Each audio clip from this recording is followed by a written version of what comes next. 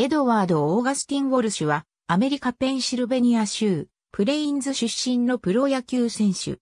右投げ右打ち。愛称は、ビッグエド。通算防御率1.82は MLB 歴代1位。1946年にアメリカ野球殿堂入りを果たした。息子のエド・ウォルシュジュニアも MLB 選手。1904年5月7日にシカゴホワイトソックスで MLB デビュー。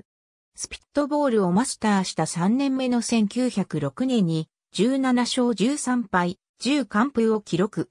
同年のワールドシリーズでも2勝を挙げる。1907年にアメリカンリーグ最多の422.1回、防御率1.60を記録して、最優秀防御率のタイトルを獲得した。この頃から手抜きをせずに、初回から全力で投げる投球を心がけるようになった。1908年には66試合にも登板。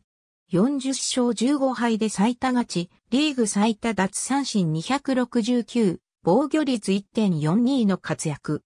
この年のシーズン40勝は1901年以降の MLB では他に1904年のジャック・チェスブロしか達成していない記録である。以後は1912年までホワイトソックスのエースとして活躍する。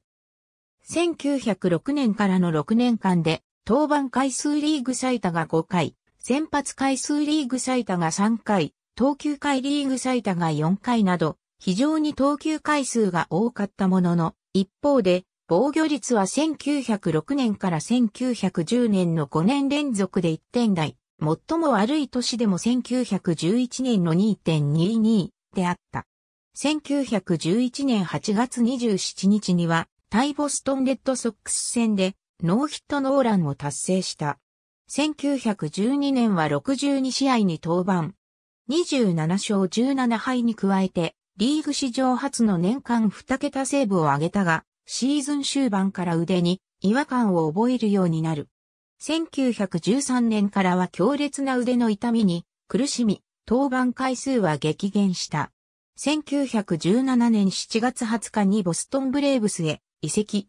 12月28日にブレーブスから放出され、現役を引退した。